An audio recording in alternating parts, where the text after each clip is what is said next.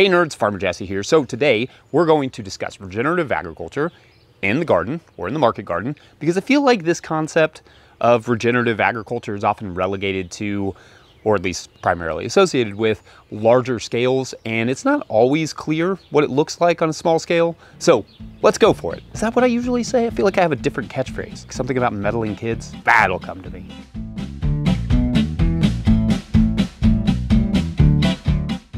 Okay, so in order to talk about what regenerative agriculture looks like on a smaller scale, we kind of have to start with what the heck regenerative agriculture is to begin with. And the good news is that everyone seems to use a slightly different definition. So I'm going to dig in a little bit into the definition for a minute. So if you're like, meh, and you just want the practices, you can skip to this time here. For the rest of you nerds, let's dive into this regenerative agriculture term for a minute. Uh, in fact, one of the more fun elements of researching this particular video was realizing that even more so than the term no-till, the term regenerative agriculture is just a swirling, living, breathing bundle of principles more than it is a single term, and no two people seem to define it exactly the same way. In a nutshell, regenerative means to utilize practices that promote soil health and utilize the regenerative properties of soil, i.e. the soil's ability to improve or repair itself, but as this really fascinating 2020 review of 229 journal articles and 25 practitioner websites discovered, that can mean a lot of different things to a lot of different people. So that said, by and large, most papers and practitioners agree on what regenerative looks like, reducing tillage, using cover crops and crop rotations, uh, incorporating perennials and livestock, etc., and what the outcomes are things like improving ecosystems, soil health, and biodiversity, and carbon sequestration, and so on. Now, I should say that I do not use the term regenerative very much or very often uh, to describe my own practices or the practices that we really promote here at No-Till Growers because, well, no-till and living soil pretty much sums up what we talk about. But like those terms, regenerative agriculture looks at how soil functions and attempts to engage with the science behind it in a given context. And moreover, regenerative agriculture is not usually just like repackaging indigenous practices and selling them as something different, like permaculture unfortunately often does. Uh, now, most people define regenerative through a number of principles. I know a lot of people have five principles. My friend Helen Atthowe follows 10 principles for what she calls managing ecological relationships, which she notably outlines really well in her excellent forthcoming book, The Ecological Farm, I got an advanced copy and it's great. And anyway, check that out. We personally roll with about four principles for living soil. I've talked about these principles in this series here and all over this channel, but they are effectively keep the soil covered as much as possible, keep it planted and planted diversely as much as possible, disturb it as little as you possibly can, and use a diversity of life promoting inputs such as compost, compost teas, animals if you can, Korean natural farming, and or dam preparations, and so on. So let's go through each principle and what they each look like on our farm currently, and how they relate to regenerating soil in general, especially on a small scale. First, keep the soil covered as much as possible. This principle is really about mulches and residues. Uh, the idea here is simply to keep the soil armored, against rain, wind, dogma, sunlight, and whatever else might endanger it. And I'm not going to go through every mulch because that's what this video here was for, but the value of mulches cannot really be overstated, especially those that the soil can consume like compost, straw, hay, and so on. Organic mulches can also retain moisture and can slowly increase soil organic matter, which itself will increase the water holding capacity of soil, Water is a key ingredient in healthy soil and plant biology, thus ultimately soil regeneration. Uh, water enables soil microbes to not only physically move and sometimes boogie through the soil, but water also allows microbes to do the work of creating enzymes. Enzymes are like tiny microbial keys that unlock nutrients found in rock particles and organic matter and etc. Water is also essential to photosynthesis. The oxygen that you and I are breathing right now was once water molecules that were split apart by a plant or some photosynthesizing microbe in the sea using photons from the sun in literally the coolest chemical process on the planet, photosynthesis. They use the freaking sun. It's just amazing.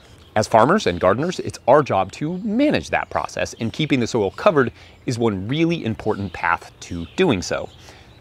And honestly, it's something that we can do much easier on a small scale than the larger regenerative ag folks can.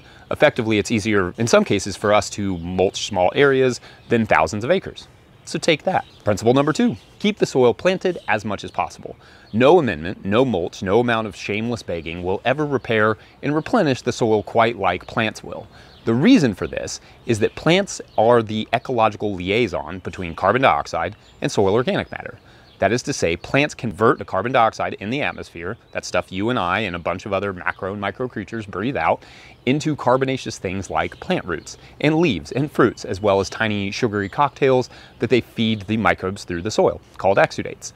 Microbes consume those sugary snacks and use the energy gained to make more of themselves. And as they live and die and get eaten and become a part of bigger and bigger organisms, and as the plants live and die and get eaten and become a part of bigger and bigger organisms, more organic matter is deposited into the soil and into the environment, which means more water holding capacity, more habitat for microbes, more nutrients, and more life and diversity. So, yeah, yeah, but what does that look like in practice? Well, first, it looks like plants, lots of them, in the ground, in the soil, year round, absolutely as much as possible. This can be crops, it can be cover crops, it can be living pathways, it can be perennials, it can be hedges in ecological areas, but it needs to be one as diversely planted as humanly possible. So not just like an acre of okra because there's no diversity there. And honestly, that just makes me itch thinking about it. And two, it needs to fit your climate. If you have snowpack all winter, I don't expect you to have a green growing crop in the gardens in January. If you can get a cover crop down, great. But obviously context is everything in farming. And so if you're on a very small scale and can't take space out for a cover crop, I get it. Having a crop growing is better than nothing. So just whatever you can get in the ground. And one important note on the need for diversity, every plant brings different qualities to the soil from the amount of biomass it produces above and below ground to the depths of its root systems to the specific microbial populations they cultivate in and around their roots and leaves.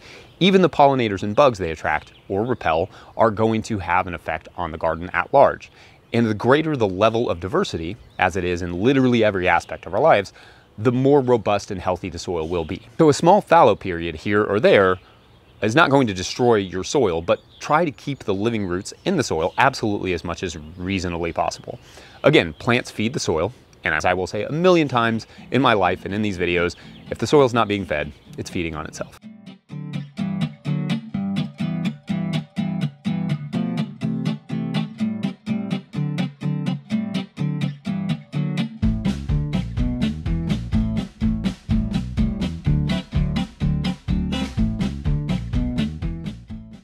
Thirdly, that doesn't sound like a word. Is thirdly a word? I don't think that's a word. Disturb the soil as little as possible. This is a principle based around the negative impacts disturbance can have on the soil, especially repeated deep tillage. Uh, the soil needs air and water to be able to amble through it with relative ease, which requires tunnels built by worms or the gaps left behind by dead, rotting roots or fungal hyphae. Uh, soil requires fluffy organic matter that gives the soil its water holding capacity and water shedding abilities. Uh, soil requires soil aggregates, which are basically just balls of soil particles wrapped around organic matter that offer the soil its texture, aeration, nutrient storage, etc. So anyway, we call all this collection of physical soil attributes soil structure, but it's really more like soil infrastructure. All the pipes and housing and food storage and filtration the soil requires to produce healthy plants. But when we disturb this infrastructure too much, uh, say with regular mechanical tillage, the soil cannot function properly. To continue with our analogy, when the infrastructure is destroyed and ripped apart and shredded, uh, the soil has to spend a good percentage of its energy effectively rebuilding itself with fewer residents. And let's be honest, those micro residents we desire are not exactly clamoring to move into a world without infrastructure. Oh, that reminds me, that apartment I offered you um, it's just a pile of bricks. Now, some disturbances are worse than others, but by and large, you want to do as little disturbance as you can and increasingly minimize your disturbances over time. Now, every context is different, I say that a lot, but very compacted soils may want to use a broad fork for a little while to help break up the compaction and work compost and other amendments deep into the soil and ultimately making the broad fork obsolete. It's great for that. Uh, sandier soils and drier regions may want to avoid broad forking to allow for the slow creation of soil organic matter and soil aggregation and not allow that soil to blow away. Again, you just need to look at your soil and ask it what it needs. because my soil is not going to need the same thing as your soil. But generally speaking, if you want the soil to repair itself, it needs to have a good foundation, i.e. good, reliable infrastructure. So minimizing disturbances is the key to that. Okay, uh, using a diversity of life promoting inputs is my fourth principle. The thing is, why it's difficult to make a living as a farmer is that the soil requires reciprocity. That is, when you take something from the land, you have to give back to the land or the land will run out, dry up, stop producing. Almost every other business in the world, including many forms of farming, unfortunately, are purely extractive. You create a widget or you modify a widget, but rarely what you're taking out of the land is being replaced by anything else. In farming, if you do not replace what you took, the soil will become exhausted. Actually, in every industry, if you do not replace what you took from the soil, the soil will become exhausted. But for farming, the issue is much more acute. We can't just exhaust our farm and move every few years to a new one. For every other business in the world, they just exhaust a resource and find a new one, which is ultimately depleting our planet, which is super fun. But in order to keep farming the same land year after year, we have to give back. Again, reciprocity.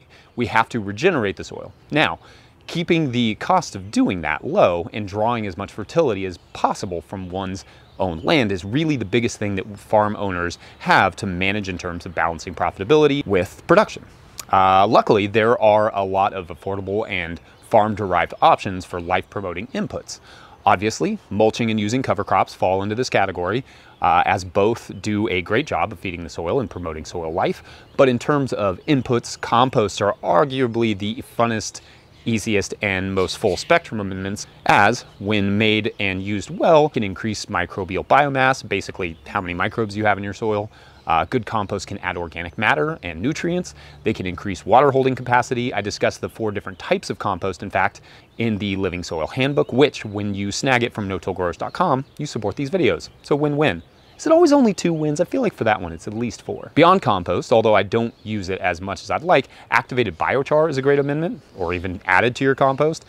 It, of course, is backed by a lot of indigenous history in the Brazilian Amazon with an increasing amount of research that helps unravel specifically why biochar is so beneficial from for long-term carbon and nutrient storage to microbial housing and so on, especially in tropical or low nutrient context, biochar can be amazing. Now, there is a lot of nuance to making biochar that can affect its efficacy. So explore the literature that's out there thoroughly uh, if you want to make your own. But maybe down the line, if I get a good system for it, then maybe you can get a mediocre video out of it. I'm just adjusting expectations accordingly. Now, I'm a fan of KNF or Korean natural farming, sometimes just called natural farming. This is a set of homemade amendments that can be largely derived from one's own property. Um, that said, although I really like the results when using KNF products and watch the videos of Chris Trump for good insight and introduction into this idea. Uh, I don't make all that many of them anymore because they are a little too time consuming for me at the moment. I prefer instead the Jadam microorganism solution, which is relative to KNF and comes from these two books, which is really, really great. Everybody should own them. But JMS has been an effective treatment for us to add to compost before they go into the soil or directly to the soil. Uh, you essentially take an organic baked potato, you bake it, you smash it up, you put in uh, put it in cheesecloth or a micron bag or something, and then you steep that in water with another big bag of some compost and pinch in a little bit of soil. Practitioners often recommend adding a pinch of forest soil, but I just use garden soil from my best bed. Uh, then you let that solution sit overnight, somewhere reasonably warm where raccoons can't dig out your potatoes. I had that happen once. That was fun. The next day, it will be a little frothy and smell like a very, very light seawater beer. That's when you know it's ready. Then we mix that with compost or soak the soil with it around plants. Um, super easy, very simple to explain to our organic certifiers. And adding that combo uh, to our potato seedlings, for instance, has been the best microbial amendment I've come across. Just like cl very clear night and day. I grow less and less interested in compost teas personally, only for the amount of time and energy they take, but that JMS and things like compost extracts, where I just squeeze the compost out of a bag in water. Those are my easy, fast go-to microbial amendments. I know someone will ask also about like mycorrhizal inoculants and those sorts of things. And besides legume inoculants, which I have used in the past, I don't use any lab-grown microbial inoculants. So like fungi, bacteria, any of it. But I will say our friends at Advancing Eco Ag sent us a bag of this BioCoat Gold that I'm excited to play with. Um, I may do some side-by-sides with cover crops this summer, and we did coat our popcorn with it this spring, so we'll see. Don't knock it before you rock it, right? That's a phrase that I have in my head all the time. Lastly, on the life-promoting inputs things is animals. Now, a lot of the bigger regenerative ag folks are using bigger livestock from cattle to sheep or goats and bison, and a lot of them consider animals to be critical to regenerative agriculture, which is fine. For the smaller scale, obviously like animals are more complicated. So for us, we just say the smaller the scale, the smaller the animal kind of has to be, or at least the fewer of the animals you have to have. And so for some of us, especially those of us with, I don't know, like an HOA or whatever, animals may be entirely out of the picture, which puts a greater emphasis on getting good compost to help make up for it. We have been utilizing uh, chickens to help scratch up our compost or clean up some of our weed seeds in plots that we used hay, or to simply fertilize a plot or, you know, a cover crop while it's growing. Now that our land has shrunk compared to our last farm, we no longer have the sheep, so we've had to scale our animal inputs down. If we were much smaller than we are now, which is about an acre in production, maybe we'd raise quails or rabbits or ducks, though their down feathers make them really hard to train to electric netting and your water systems have to be pretty robust. But anyway, or perhaps we would simply raise chicks until they're pullet size and sell them in the spring. I love what animals can do for the soil, but obviously they are not always practical on a small scale. So utilizing a diversity of those other life promoting inputs is the best way to replicate an animal's effect on soil health. Either way, integrating some animals in rotation, not just like concentrated, around your farm in some fashion is a great way to encourage healthy, robust, regenerative soil. Let's all go get to work. Uh, like the video if you like the video. If you're not subscribed to this channel, hit the subscribe button. And if you are subscribed, you're awesome. Pick up a hat or a copy of the Living Soil Handbook from no-tillgrowers.com specifically to support these videos and all of our work and or become a patron at patreon.com slash no-tillgrowers. That is huge for us. If this video has helped you at all, you can also just hit the super thanks button. Otherwise, super thanks for watching. We'll see you later. Bye.